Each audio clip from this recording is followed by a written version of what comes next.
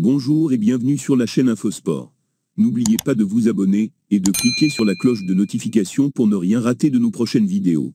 Si l'attaquant égyptien a clos le suspense sur ses intentions et annoncé qu'il restera chez les Reux, l'avant-centre sénégalais s'est montré bien plus prudent. Interrogé par la chaîne britannique Ski Sport, le joueur de 30 ans prévient qu'il décidera de son avenir après la finale contre les Merengues, samedi au Stade de France. Cette question, je répondrai après la Ligue des Champions.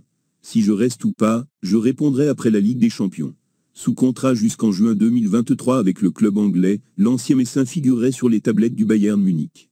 Recruté à l'été 2016 pour la somme de 41,20 millions d'euros, Sadio Mané a marqué 23 buts en 50 matchs toutes compétitions confondues depuis le début de la saison 2021 à 2022, pour 7 buts en 34 rencontres de Premier League.